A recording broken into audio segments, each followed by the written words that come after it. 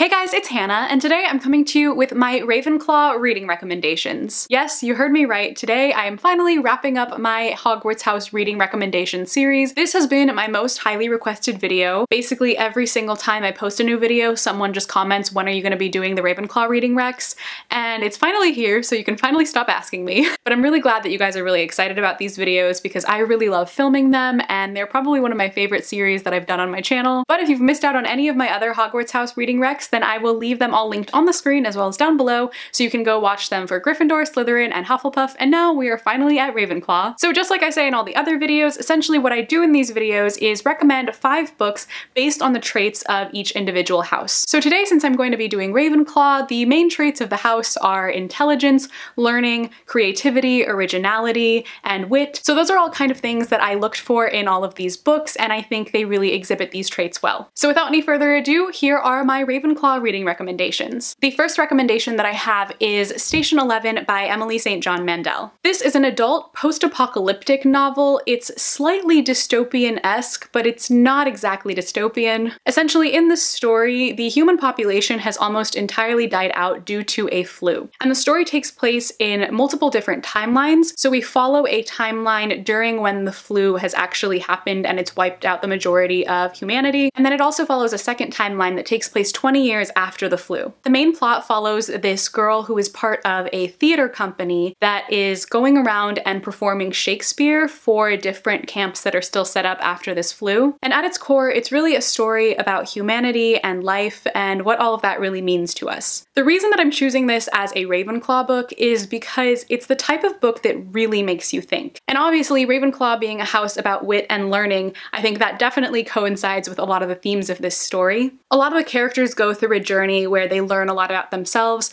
and you also learn a lot about yourself while you're reading this book. At least I felt that way. But it's very complex in a lot of ways, even just the way that it's structured. It takes place over multiple timelines, like I said, and we follow several different characters and we get all of their perspectives, so it can get a bit complex at times, but you just kind of have to think your way through it, and I really think that that's very Ravenclaw. But yeah, I absolutely adore this book and highly, highly recommend it. So if you're a Ravenclaw and you're looking for some fiction that's very thought-provoking, this would definitely be my recommendation. The next book on my list is The Hate U Give by Angie Thomas. This book is extremely popular right now, and it's been number one on the New York Times bestsellers list for a while, and it absolutely deserves that place. It follows the story of this girl named Starr Carter who witnesses the murder of her best friend by a police officer. It's inspired by the Black Lives Matter movement, so it has a lot of political context to it, and I think it definitely has a very important and relevant message. It's one of my favorite books that I've read so far this year. I absolutely adored it. I definitely imagine Starr to be a Ravenclaw. I know she actually really likes Harry Potter and she talks about Harry Potter in the book,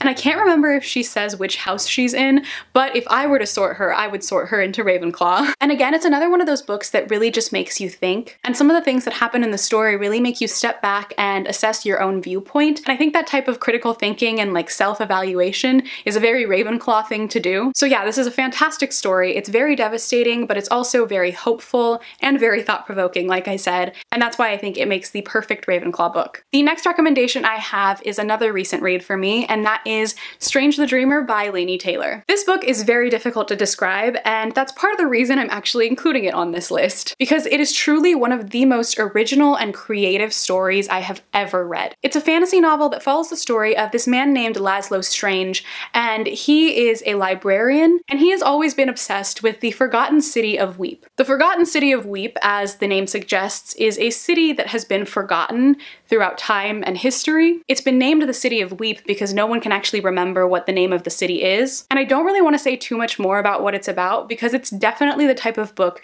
that you should go into with very minimal expectations, but it's so magical and so well developed and so unique. The world building and the development of the plot and the characters is so creative and it's unlike anything I've read in other YA fantasy. I absolutely adored it from the first page to the very last page. It kept me on my toes. It also kept me thinking because it has a lot of layers to the plot and you learn a lot as you're reading it as well. So just every aspect of this really just makes me think of everything that is Ravenclaw. Also, the colors are very Ravenclaw-esque. I know this isn't bronze, but like, you know, it's kind of similar. But truly, the story down to its core is just such a Ravenclaw story. Lazlo Strange is definitely a Ravenclaw in my eyes. He might be somewhat of a Hufflepuff, but I'm leaning more towards Ravenclaw. So if you've yet to pick this book up, I highly, highly recommend recommend it, and definitely if you're looking for something along the Ravenclaw lines. The next recommendation that I have is Feminism is for Everybody by Bell Hooks. Every time I do these videos, I like including books that are kind of different, like a nonfiction book or a graphic novel or comic, so that's partially why I chose this one. I had to read this book for my Intro to Gender Studies class, and I absolutely fell in love with it because I went into this book thinking that I would know pretty much everything that it had to tell me, but I was so, so wrong. If you don't know much about feminism, or if you know a lot about feminism, or if you're just interested in learning some more about it, this is 100% the book for you. It essentially just outlines feminism and what it stands for and why it's important and its benefits and how literally everybody can benefit from it. It's truly one of my favorite books that I've ever read because it was such an enjoyable reading experience for me because I learned so much from this book. But I'm including it on this list because it's one of those thought-provoking books that you really have to sit down and kind of reevaluate sometimes your entire existence. if you're the type of person who really likes learning or you just really like to think critically about things, this is definitely something I would recommend. And also I feel like most Ravenclaws, since the house very much values learning and intelligence and wit would probably enjoy thinking critically about things. I cannot recommend this book enough, and a lot of you guys have asked me to do like a feminist lit reading recommendation video,